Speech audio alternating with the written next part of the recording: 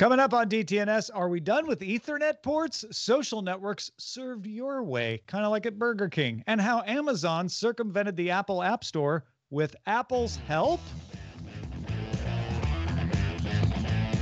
This is the Daily Tech News for Friday, September 25th, 2020. In Los Angeles, I'm Tom Merritt. And from Studio Redwood, I'm Sarah Lane. Also in Los Angeles, I'm Lamarr Wilson. Drawing the top tech stories from Cleveland, Ohio, I'm Len Peralta. And I'm the show's producer, Roger Chang. We were just talking about uh, a little check in on my use of the Microsoft Surface Duo. We were talking about uh, how our parents wanted us out of the house when we were kids. That's all on Good Day Internet. Uh, get it by becoming a member at patreon.com slash DTNS. Let's start with a few tech things you should know. The European Commission announced it will appeal a July 2020 ruling, which had overturned a $15 billion fine against Apple and Ireland over taxes. The EC considered the tax breaks to qualify as unallowed state aid. If the appeal proceeds, it will be heard by the European Court of Justice. The Verge confirmed that torrent files containing source code for Windows XP and Windows Server 2003 were published on several file sharing sites. Now, it's not clear how much source code was included in the leak, although one expert confirmed Microsoft's NetMeeting user certificate root signing keys were included. Earlier this year, a leak of the original Xbox and Windows NT 3.5 source code appeared online as well. The U.S. Cybersecurity and Infrastructure Security Agency, or CISA, uh, said Thursday that an attacker gained access and copied data from an unnamed federal agency. The attacker used compromised Microsoft 365 accounts to view help desk email attachments, and in those attachments was able to find things that led them to get access to domain administrator accounts and credentials for the agency's Pulse Secure VPN. They were also able to access the Active Directory to modify settings and study the internal network. CISA's Einstein intrusion detection detected the attacker, and that's how they discovered it and stopped it. Five days after U.S. Magistrate Judge Laurel Beeler issued a preliminary injunction against a ban on WeChat in the U.S., the U.S. Department of Justice asked the court to stay that injunction over national security concerns. Essentially, these are fights over whether banning WeChat or leaving it up will cause more damage, while the issue is decided in court. Meanwhile, Tencent proposed a resolution that would create a US version of the app, partner with a US cloud provider, and manage the app through a US based entity. The judge department said that Tencent retaining ownership did not address US's concerns. Hmm. TikTok's Australian executives told Australia's Select Committee on Foreign Interference through Social Media, that's a long one, that it would uh, let the government review TikTok's code. Now, government personnel could review TikTok's algorithm and test its source code at a Transparency and Accountability Center in Los Angeles or Washington in the U.S. MacRumors spotted that Apple has removed the 5 watt USB charging brick that previously came with the pricier Apple Watch Edition and luxury Hermes models. Uh, at Apple's event earlier this month, they announced they were doing away with the power brick to reduce environmental impact, but only mentioned it would be gone in Series 6, SE, Series 3, and Nike models, not in these higher end models. So it appears no more charging bricks at all for the entire Apple Watch lineup. I have I never seen it. an Hermes model in the wild. Not that I know of. Not hmm. once. You should sure buy they're one. out there somewhere. Yeah, I should. I know. I, cheap. I mean, what am I going to do with all this money otherwise? New Patreon level. Sky News reports that days after Airbus announced its plan to convert its fleet to hydrogen power by 2035, a company called ZeroAvia has completed the world's first commercial hydrogen powered zero emission flight after taking off from an airfield in Bedfordshire, England. The 20 minute test flight included a pretty small six seater plane running on a single propeller, not exactly Airbus sized, but it's a start.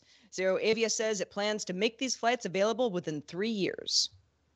Twitter is expanding a test feature it introduced to Android in June, prompting users that were about to retweet an article they hadn't clicked open to read it first. Twitter says users in the test group open articles before sharing them 40% more often than they did without the prompt. And users open an article and then retweeted it 30% more than they did without the test prompt. I like this. Hmm. All right, let's talk a little more about Chromecast with Google TV. Normally, we we avoid talking about too many rumors, but this one's pretty solid because a Reddit user called FuzzTub07 shared photos of a Chromecast with Google TV they bought at a store. Uh, so this isn't leaked photos; they have the thing. Uh, a video showed the Google TV interface with what appears to be Android 10 underlying it. Uh, it supports 4K HDR multiple accounts and Bluetooth headphones, does not have an Ethernet port. The remote has a YouTube and a Netflix button. The Redditor who posted this said they bought the device from a Walmart outside Pittsburgh for $50 and noted that it seemed to be in stock at a store in Ohio as well when they looked online. Chromecast with Google TV isn't announced yet. It's mm-hmm. still Android TV as far as Google officially says, but we're expecting to get an announcement about it at Google's Pixel event, which is coming up Wednesday, September 30th. Man, this is a, this story has multiple levels. The first Yeah. one is the first one is so Walmart stocked an unannounced product. Uh, so one might think then that whatever Google announces is going to be available immediately, where the stores wouldn't have it yet. Right. Makes Uh, sense. you know, and and on that note, that's pretty bad communication because you know Google either didn't make it clear to this particular Walmart and any other Walmarts that this also applies to. Please don't put these on the shelves yet and price Mhm. them at fifty dollars, or the store is just super unorganized and it happened internally. But you know, then you've got the Chromecast with Google TV that this particular redditor, you know, took videos and photos, and I mean, it's all the information you need. It's it's darn near a presentation in itself. So, I don't know what's left to to to not know. Yeah, I mean, Google must have said something about don't put this on the shelves, or they would be at, on the shelves at every Walmart. But there Right. are some scattered reports that are unconfirmed that people have found them on the shelves at other Walmarts around the country. So uh, something broke down uh, somewhere for sure. Yeah, Wa- Walmart is definitely notorious uh, for for doing that. You know, they've done what some Nintendo releases too, where they kind of get them early and put them on the shelves, not thinking. Um, then they got to take them off. But yeah, a couple things I found interesting about this. Number one, uh, you mentioned the, the the no Ethernet port, and that's that's interesting Mhm. because Chromecasts have traditionally, and I know this is not a Chromecast, but traditionally it had one. So is Wi-Fi better now, or going? Are they betting that Wi-Fi is going to be as good that you don't have to plug in anymore? That's something uh, you know, f- to, to think about. And also, and I noticed an article that, uh, at least at the time, Stadia was not supported. So, Right. you know, Did not appear you know, to be on this. Did not appear to be, yeah. yeah, yeah. Which would be weird, really weird if that wasn't like included in it, because that's literally one of their flagship gaming products. Yeah, so. because there, there were apparently a couple of games pre-installed or on it, or at least available for download, you know, Yeah. promoted, et cetera. Uh, but it is a Chromecast. It's a Chromecast dongle. It's just, you know, it's Mhm. going to be the introduction of Google TV. And you're right, no Ethernet port. I mean, maybe that's why it doesn't have Stadia because they're like, well, without an Ethernet port, you know. So maybe there's another model out there that does have an Ethernet port for Stadia, so you get all the speed. But it does sort of indicate that we are to the point where Wi-Fi is good enough for your streaming video. I remember there was a time in my life where I would not stream video on any device that wasn't connected to Ethernet if I wanted it to be reliable, right? I'm not talking E- about watching even your watch- phone. You yeah, well, no, I'm, I'm talking about like if I was like I'm gonna watch Netflix, I'm gonna I don't want to be interrupted by buffering for the next hour or hour and a half for a movie or something. Uh, I would have Ethernet. These days, none of my stuff's plugged into Ethernet. It's all using No. Wi-Fi and it same, fine. same here. I, I Yeah, haven't had an, I with haven't Office. had Yeah. an Ethernet connection to my media uh, in years, like five years, more maybe more. Uh, but it also used to be that my router was like stuffed behind my TV, so I was like, well, it's as close as it can be. Now it doesn't even matter. Uh, because my Wi-Fi is reliable. Not everybody, you know, has the luxury of that, but I think we're getting to that point. Yeah. So- I think the only thing I really have plugged into Ethernet is this machine that I'm on right now. Same. I wouldn't, It's the it's the only thing I have plugged into Ethernet, because you know, and my Wi-Fi router obviously is right? Yeah, plugged into that's the modem. That's how it all works. All right. Apple confirmed that it acquired the podcasting startup Scout FM earlier this year. Scout FM curated podcasts based on your listening history using machine learning to adjust recommendations. And after the acquisition, well, this is what happened Scout FM shut down service on iOS, Android, and Amazon. It's funny because I did not use Scout FM on either iOS, which is how I listen to pretty much all my podcasts, but it also had a CarPlay app, and I didn't Mm. realize that because I'm always looking for new CarPlay apps because I love my CarPlay. So I didn't ever use Scout FM. Gotta hope that the team has been absorbed so that Apple might do something that's a little bit along these lines as far as recommending podcasts that I might like in their podcast app based on what I've listened to. But it's difficult to compare that to music. You know, Tom and I were talking in the pre-show with music. It's like you can listen to a hundred songs pretty easily, and there's a lot of genres of music that are very cut and dry. Well, you know, mostly.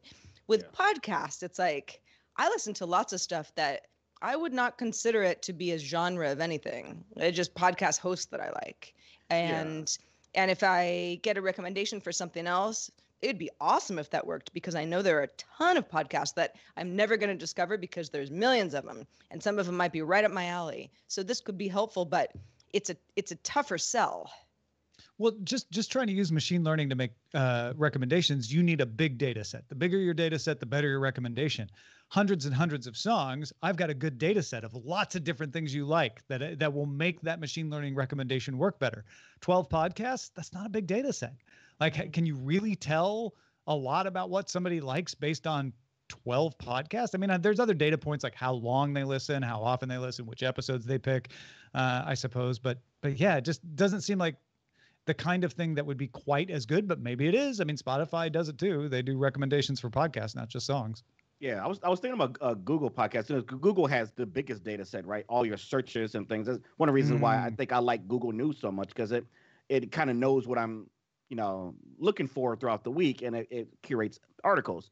So for pod, you know, I haven't used their podcast uh, thing in a in a couple years. I think it's integrated into YouTube Music. I'm not sure, uh, but I'm, I'm interested to know if, if, if you know if it's if that one recommends as well as this would do because Apple doesn't have a search type of thing, and you know they're very privacy centered. So how would they gather that data? So yeah, Google has its own standalone podcast app. They took it They out of now. Google Music Okay. as they were moving everybody to YouTube Music. They took they're like, okay, we're going to take it out of Google Music, so we got to have this podcast app. Yeah. Gotcha. It's also no matter what podcast app you use, if there's a top rated, it's always the same 10 or 20 podcasts. And they're Right. great podcasts. I listen to a lot of those as well, but I think that this is well, not I don't really know what Apple's doing, but assuming that they're trying to use this technology for themselves, this would be a great way to kind of expand that. Like, okay, we know that this American Life is always going to be in the top five, right? It's a great podcast, awesome. You know, download it, listen, install, listen each week, or don't.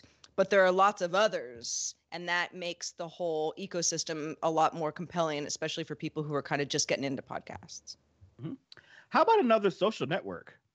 Uh, former Quora execs are rolling out invites for a new social network called Telepath that they say prioritizes moderation over user numbers. Now, the rules are this be kind, don't be mean, no harassment, and no fake news. More specifically, it bans all identity based attacks, doxing, harassment, porn, and violence in links, images, and words. So, Telepath is trying to focus on interest rather than friends. Now, users can follow a variety of conversations such as funny tech memes, failing companies, global innovation, entertainment, etc. Um, perhaps more interestingly, Telepath deletes all posts after 30 days. Now, the Telepath CEO Richard Henry says taking moderation seriously requires the entire moderation team to be in house and that we're not going to outsource it to a contracting company, which is what every other major network network does essentially. So to sign up, people have to use a real validated phone number and agree to community rules. Um, I'm kind of in- intrigued by this, especially the the 30 days. Everything's gone. The the, the slate has been wiped clean. Um, I did sign up for it. You know, it, it's an invite only, but I, I'm I'm curious of the need for a nice Mr. Rogers place where I can feel good and you know feel comfy and, and safe, and that everybody's gonna be nice to me, because that does not exist anywhere else. It's nice to be nice. I mean, there are a lot of things about this that sound pretty good, right? It's okay, you're following topics rather than users, so there's no, you know, a massive, you know, following makes you feel better about yourself. Doesn't matter. Uh, the ephemeral quality, the you know, everything's gone after 30 days, so it's kind of like have your conversation and then move on. You know, there's no, you know, going back 200 days and saying you said this, you know, and now I'm mad at you, kind of thing, which is somewhat freeing. And Mhm. then using a real validated phone number, I mean, that takes it a step further than Facebook. Facebook, well, with some exceptions, uh, wants people to use their real names, but Twitter doesn't even care. I mean, all you need is an email address. So there's a little bit more of a um, taking account accountability here. I just don't. I think with a lot of the Facebook alter- alternative social networks, what was the one that started with a E or there was one that was It was Ello. It was it was it LO? Yeah, it was. You know that kind of kind of came and went. Uh, it just it's just really hard to fight uh, a social network that's that big. Not that Facebook's the only one, but it's sort of you know the grand social network that nobody can really penetrate as far as user numbers. This is something different. I think that if you really are looking for an alternative and you don't care about where everybody else is and you like the folks that you're talking to on a particular topic, it's not unlike Quora, really. Quora is more question answer. You know, mm-hmm. let me be an expert to help you because you want to know something and I have the answer. But that's a feel good place as well. I I like the idea of this. I just don't know how it scales and maybe they don't care. Yeah, the 30 day thing was the thing that caught my eye first. Was the you know the fact that posts Same. expire. I'm like, okay, that's interesting. Takes a little pressure off, even if it's just psychologically. I mean, how many of us really look at 30 day old posts? But you don't think, well, if I write this, it'll be here forever, right? So that that changes your approach. I hadn't even thought about the idea that you don't come here to follow people you come here to follow topics which takes away that barrier of like well i would use telepath but none of my friends are there right? You're like oh well i don't care if my friends are there. I'm going to follow the i hate joe biden thing or where i hate donald trump thing or whatever it is because they have both of those by the way. Uh, so so yeah it could attract people for topic wise we'll see if that works. The other thing it reminded me of is parler. Uh, parler i use because it says we are only going to moderate what is illegal uh, everything else is free. It's the opposite of telepath. They're like, mm-hmm. you know, if you're tired of being moderated too much on Twitter and Facebook, come to Parler and we will only moderate something if it's against the law. There's a court precedent, there's a law against it, like inciting violence, something like that.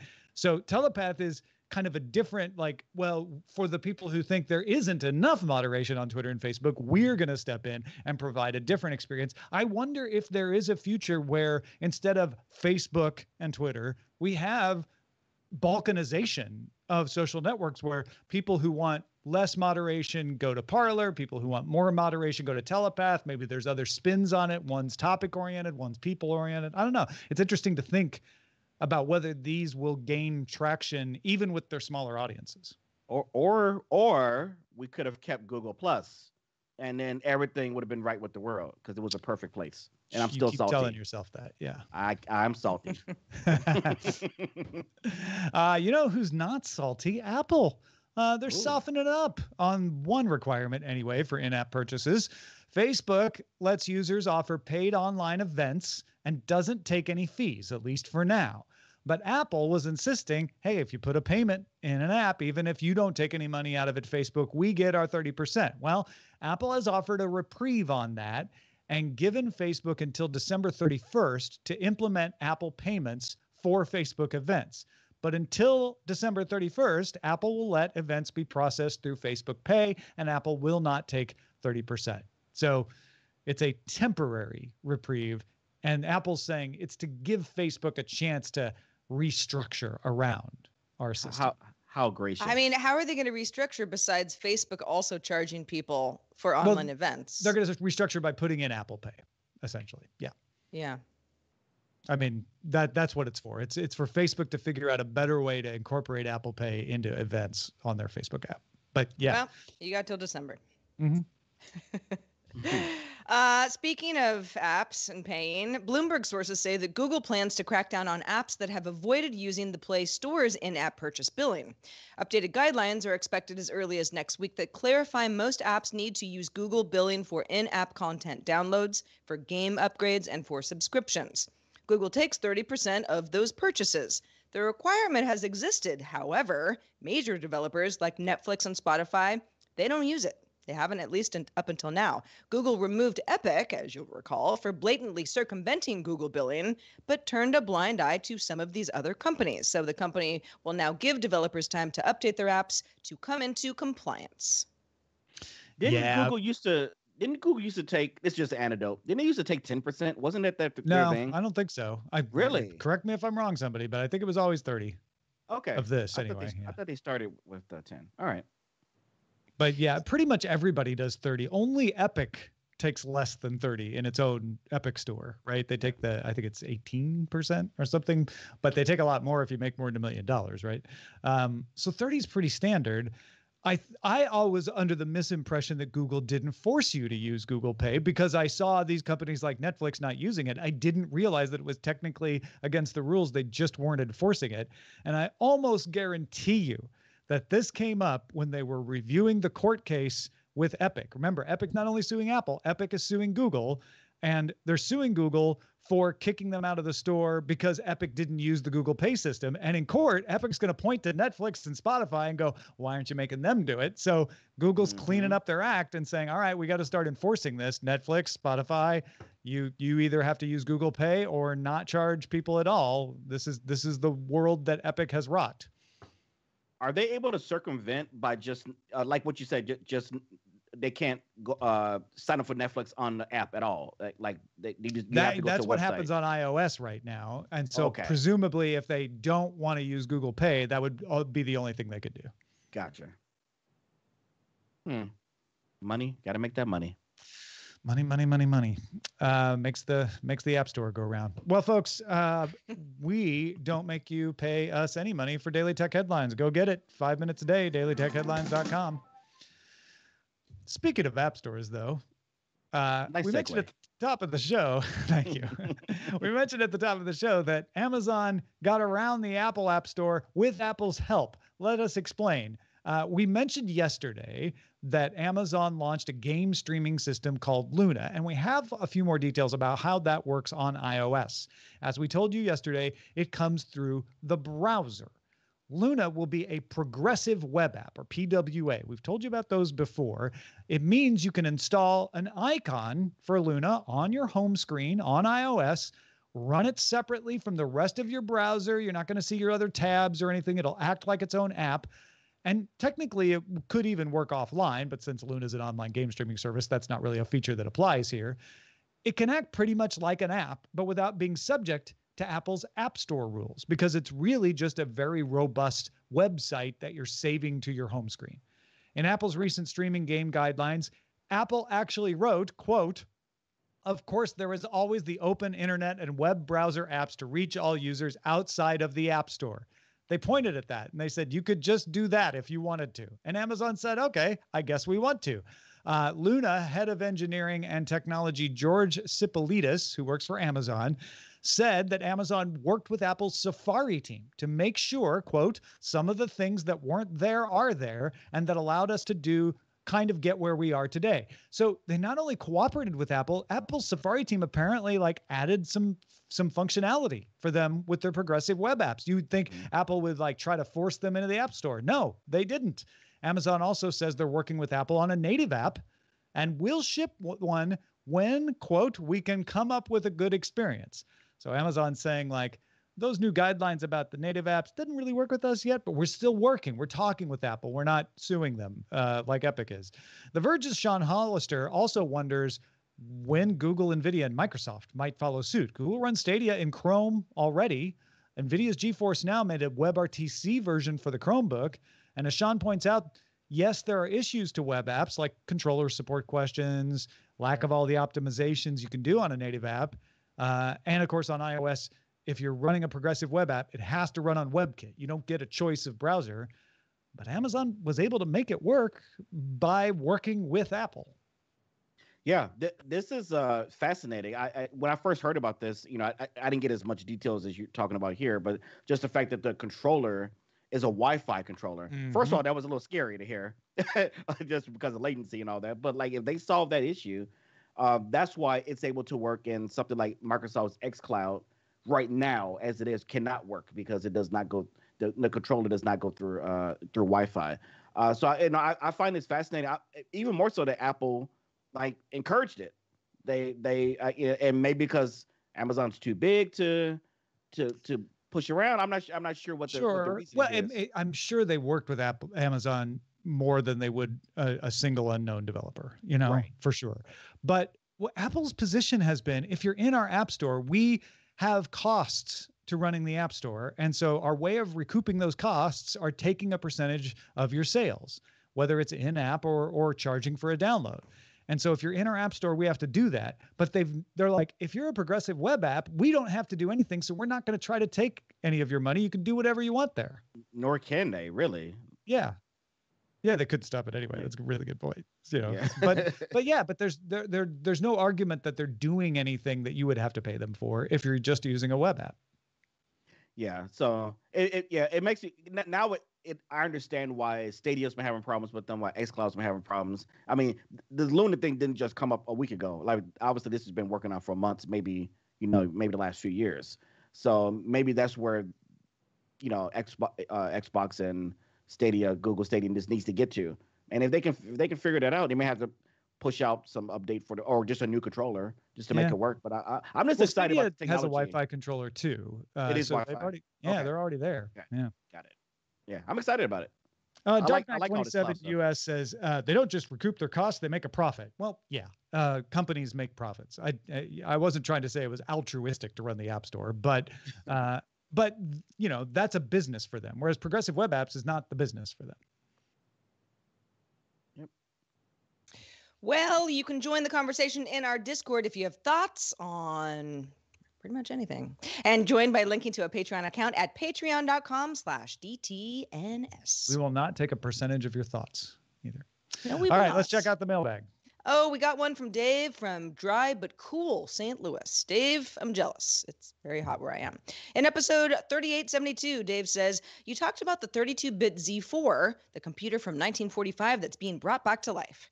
Scott remarked that it would be great if we could keep examples of other old computers alive just like that. Dave says it reminded me of the Living Computer Museum in Seattle. You can even visit their website at livingcomputers.org.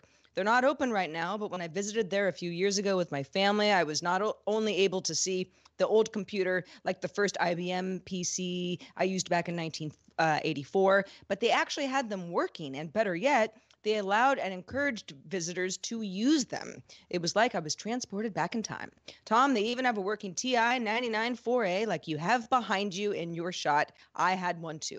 Dave says, their team of supporters not only keep them and their software going, they figured out ways to make the power supplies more efficient that keep the old mainframes going, but at a fraction of the energy that they did back in the 60s and 70s. That is so cool. Uh, it, it reminds me, it, it's a much more organized version of what I'm about to describe, but it reminds me of uh, the computer museum they had at the Goodwill that was up near Dell in northern Austin. I don't know if it's still there anymore, but when I was living in Austin back in the 90s, you could go there and they had a working Apple Lisa, they had a Heathkit, and you could go in and play with that stuff. But they also sold old computer equipment there as well. In fact, that's where I bought this TI 994A that's behind me, so, uh, uh, funnily enough. So, yeah, I love that. I, I definitely need to hit the Living Computer Museum next time I'm in Seattle, once I'm allowed to travel to Seattle again. yeah. I'm glad they're preserving stuff like this. Yeah, really yeah. Am. Yeah, very cool. Thanks for the email, Dave. And, you know, stay cool.